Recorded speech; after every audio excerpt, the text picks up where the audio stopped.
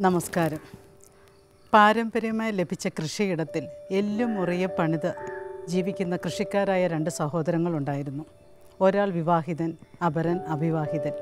വിളവെടുപ്പൊക്കെ കഴിയുമ്പോൾ രണ്ടുപേരും തുല്യമായി തന്നെ വിളവും ലാഭവും ഒക്കെ പങ്കുവെക്കുമായിരുന്നു ഒരിക്കൽ അവിവാഹിതനായ സഹോദരൻ ചിന്തിച്ചത് ഇപ്രകാരമാണ്. ഞാൻ അവിവാഹിതനാണല്ലോ. എനിക്ക് ചിലവ് കുറവാണ്. അപ്പോൾ പിന്നെ ഈ വിളവും ലാഭവും ഒക്കെ തുല്യമായി പങ്കുവെക്കുന്നതിൽ എന്തോ ഒരു പന്തികേടുണ്ട്. അങ്ങനെയെങ്കിൽ ഞാൻ എനിക്ക് കൂടുതലായി കിട്ടുന്ന ലാഭം ഞാൻ അവന്റെ പത്തായിപ്പുരയിൽ രഹസ്യമായി നിക്ഷേപിക്കും. അങ്ങനെ ആ വിളവെടുപ്പ് ദിവസം മുതൽ അയാൾ രഹസ്യമായി തന്റെ സഹോദരന്റെ പത്തായിപ്പുരയിൽ കുറച്ചേറെ ധാന്യം നിക്ഷേപിച്ചു. എന്നാൽ വിവാഹിതനായ സഹോദരൻ ചിന്തിച്ചത് ഇപ്രകാരമായിരുന്നു. ഞാൻ വിവാഹിതനാണ് എനിക്ക് കുടുംബമുണ്ട് ഭാര്യയും മക്കളുമുണ്ട്. കുറേ കാലം കഴിഞ്ഞാലും എന്നെ നോക്കാൻ ആളുണ്ട്. എന്റെ സഹോദരന്റെ കാര്യം അങ്ങനെയല്ലല്ലോ.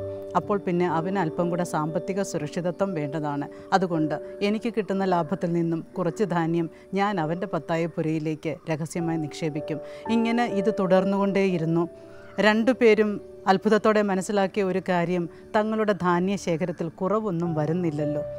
ഇങ്ങനെ കുറച്ച് ദിവസം കൂടെ കഴിഞ്ഞപ്പോൾ രണ്ടുപേരും അങ്ങോട്ടും ഇങ്ങോട്ടും പത്തായപ്പുരയിൽ രഹസ്യമായി ധാന്യം നിക്ഷേപിക്കാൻ പോകുന്ന യാത്രയിൽ കണ്ടുമുട്ടുകയാണ്. കാര്യം മനസ്സിലായപ്പോൾ പരസ്പരം ചേർത്ത് പിടിച്ച് ഈ സഹോദരങ്ങൾ സന്തോഷാസ്ത്രക്കൾ പൊഴിക്കുകയാണ്.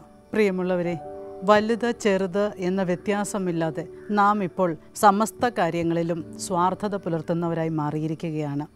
സ്വാർത്ഥതയെ അതിജീവിച്ച് അല്ലെങ്കിൽ അങ്ങനെ അതിജീവിക്കാനുള്ള കരുത്ത് സമ്പാദിച്ച് മറ്റുള്ളവരെ കൂടെ ചിന്തിക്കുകയും മറ്റുള്ളവരോട് കരുണ കാണിക്കുകയും ചെയ്യുന്ന ഒരു രീതിയിലേക്ക് വന്നാലല്ലേ നമ്മുടെ കുടുംബജീവിതവും വ്യക്തി ജീവിതവും സാമൂഹ്യ ജീവിതവും ഒക്കെ കൂടുതൽ ദൃഢമാവുകയുള്ളൂ.